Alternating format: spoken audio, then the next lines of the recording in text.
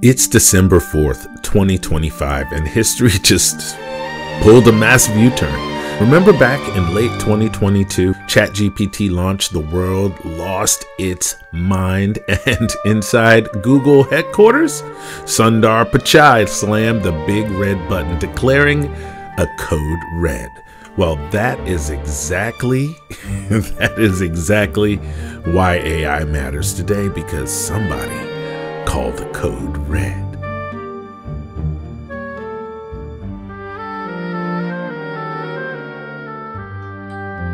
He declared a code red because their entire search business was under threat. But before we get deep into that, my name's Ekello Harrid. This is why AI matters. Do me a favor, like and subscribe if you enjoy what I'm doing.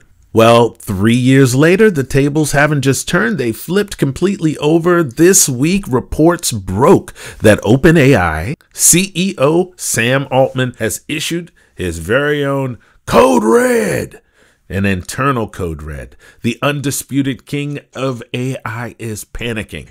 Why? Because for the first time, they are losing. Today, we are tearing apart this memo. We're looking at the cynical take, the terrifying reality, and the one massive decision that proves this isn't just marketing hype. Buckle up. First, the facts. What triggered this? Two words Gemini 3. Google's latest model is out, and by almost every metric that matters benchmark, speed, multimodality capabilities, and crucially, user vibes, man. How does the how do you feel when you're using it? It's beating OpenAI's current flagship. People are noticing. Internal OpenAI data reportedly shows user growth slowing down and even worse than that, paid subscribers churning out to switch to Google or to Anthropic. And here's the brutal economic reality that we're facing Google.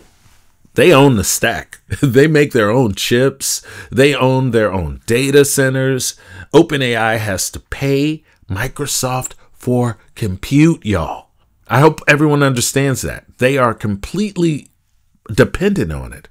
In an all out price war, Google can afford to bleed cash to win. OpenAI cannot burn money forever if their product isn't undisputed number one. Sam Altman's directive is it's drastic. Pause everything else. They planned an ad network. They delayed it.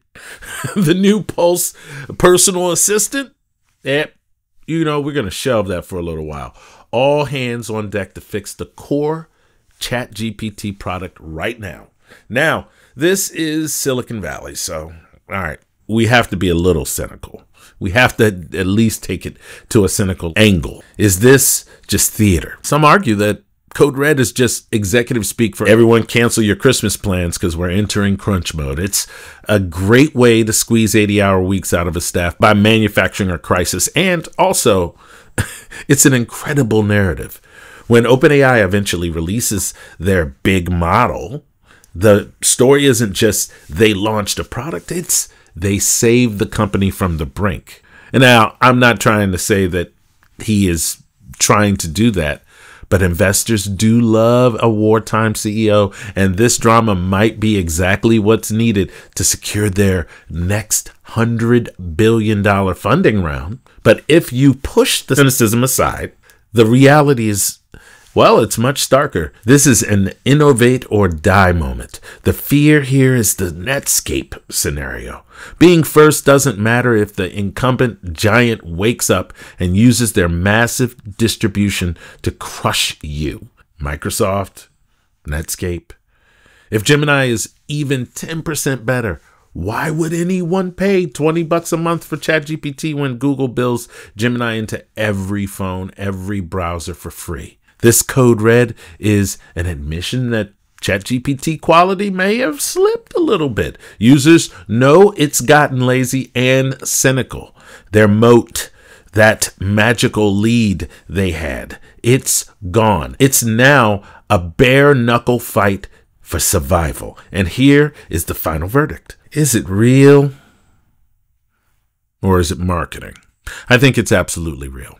And here's the proof they delayed the advertising platform. Companies, that are just doing marketing theater, they do not, and I do repeat, they do not voluntarily delay their primary strategy for making money. And I'm telling you, OpenAI is they they desperately need revenue to plug their profitability gap.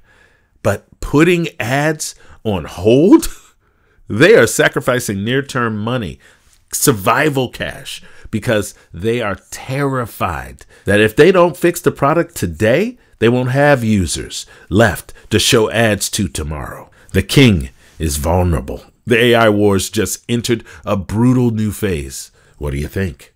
Is ChatGPT cooked? Or is this the pressure diamond they need to ship something incredible? Let me know. Let me know in the comments. I would love to hear from you. Also, like, subscribe, hit the notification bell because YouTube likes to YouTube. And this is why AI matters. Why does AI matter today? Why? It's because I called the code red.